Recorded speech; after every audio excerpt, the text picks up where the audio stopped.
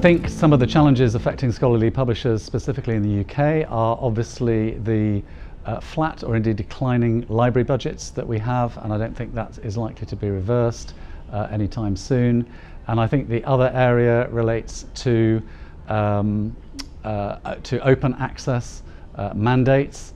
Uh, and particularly the difficulty with, with uh, unfunded green mandates, um, and also uh, in the open access sphere with very many good high quality journals, but we're also facing a number of predatory open access journals, and that I think is a big issue for us in the UK. The, the challenge that scholarly publishing, uh, scholarly publishers are facing in the US um, you know, again, there, there's a number of them, but the one that jumps out at me is the proliferation of mandates to make content free um, after a relatively brief embargo period.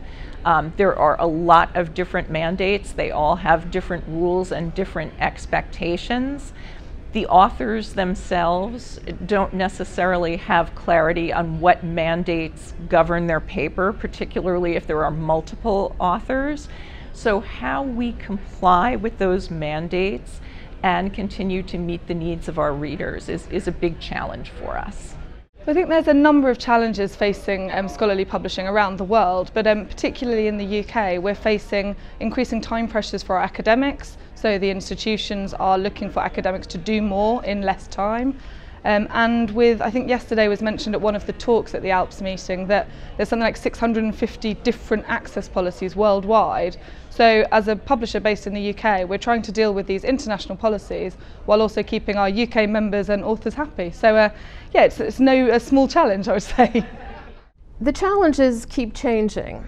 Um, the opportunities uh, have become digital as opposed to the challenges. Um, I think the opportunities um, that we face in the scholarly publishing in industry are no longer disruptive, but they're the options of different business models. Along with that, however, has come um, reduced federal funding in the United States as well as elsewhere. Um, so we have uh, lower, less funding and higher expectations from government in terms of mandates, not only for researchers, but for publishers as well.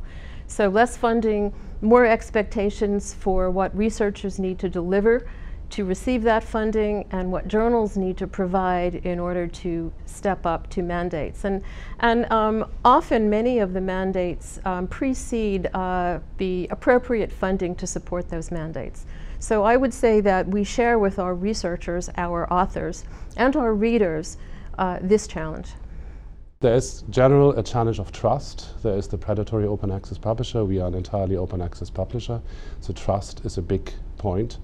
Uh, validation is also a big point in an area which is just growing in research, which is very nascent in its research and you know investing in it and growing very, very quickly on it. You want to validate against something you know and you don't want to be on the cutting edge where you validate against new things and try new things.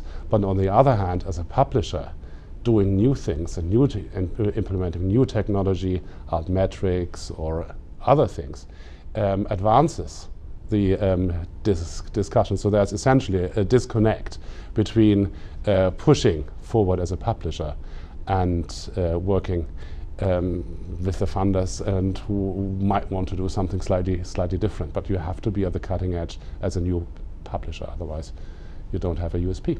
How do we deal with open access, or not so much open access, but funders, policies? Um, it's it's it's an interesting dynamic because now you get a, sort of uh, a power play between the funders on one side and the scientists on the other side, and then the funders say, no, you have to do this and that, and we want you open access. And the scientists say, oh, not necessarily.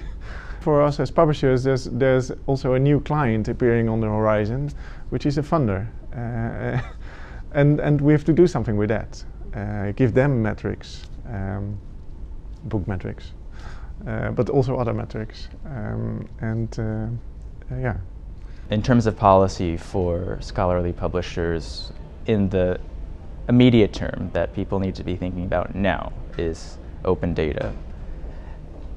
there are different views across communities in the um, in, in terms of what open data means. Should we even be supportive? And my perspective, having listened to governments around the world, is we're we're running out of time to say there there is we're not okay with open data. We have to find a way to make it okay. So uh, I think society leaders need to have those conversations now and again map that sustainable path of what's going to work for your science uh, to drive it forward.